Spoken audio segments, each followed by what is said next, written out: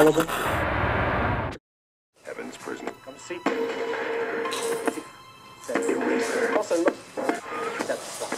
I Street next Wednesday night.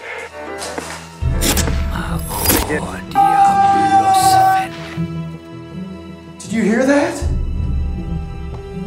I think so.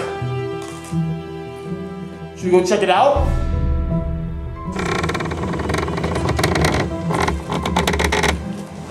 Up. Let's go.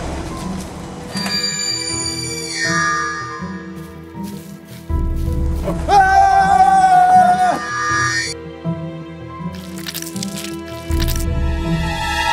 Matt, I'm scared. Oh. My god, Matt! It's supernatural slime! Supernatural slime? In Tulsa?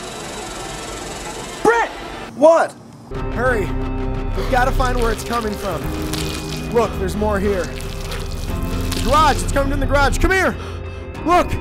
Open the door. We gotta get in there.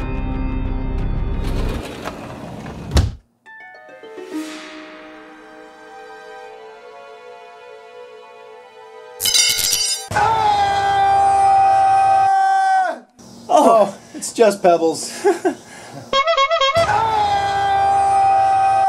guys! oh, Eddie. Oh. Just Eddie. Ah! Oh, it's just the lawnmower. Something strange in your neighborhood. Who you gonna call? Hey viewers, Matt and Brent back again with a very special edition of Snack Chat Live. Tonight we're checking out the brand new Ghostbusters Key Lime Pie Slime Twinkie. Okay, first thing I'm noticing is the sponge cake is really sticking to the roof of my mouth.